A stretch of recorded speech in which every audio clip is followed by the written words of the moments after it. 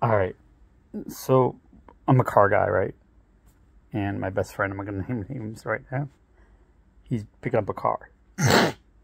he's he's what I thought in the middle of purchasing a car. He's like, "Come on, I'll let you go see it with me." I'm like, "Cool, all right." It's older Camaro. We go to the person's. Uh, we, we go to the person's yard that was in. We get in the car. He's got the keys, and just rips just rips it right out. Just starts driving it. I'm like, um, blank. I go, does this guy know you're gonna do this? He's like, oh, he's left it there. He's like, I can take it out anytime. I'm like, so he knows that you're driving it, your insurance. He's like, insurance. He's like, insurance knows, you know, whatever, Kevin, just whatever. Watch what this can do. Manly shifts it and shit, and he's driving it like he stole it, right? Absolutely stole it. I'm like, um, friend. I'm like, does he know you are driving this car? You're gonna buy it?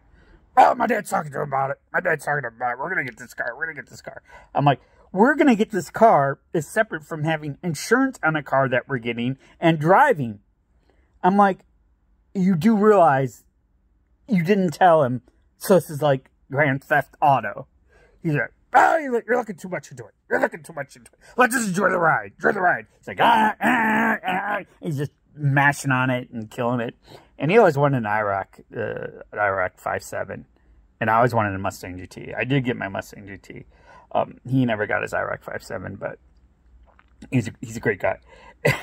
so I go back and my dad's like, so where'd you go after school? And I'm like, ah, Neil decided to steal a car. Oh, sorry. We didn't steal the car. We borrowed the car because that's a car he's going to buy. Maybe, possibly. And my dad's like, what? I'm like, you heard me right. We pull up this guy's lot. We take the car that's on there. We leave our car and we burn. We burn rubber for about two hours. Then we come back and we park the car. And it's like, where are you fucking, where are your friends from? I'm like, I have no idea, but it was fun.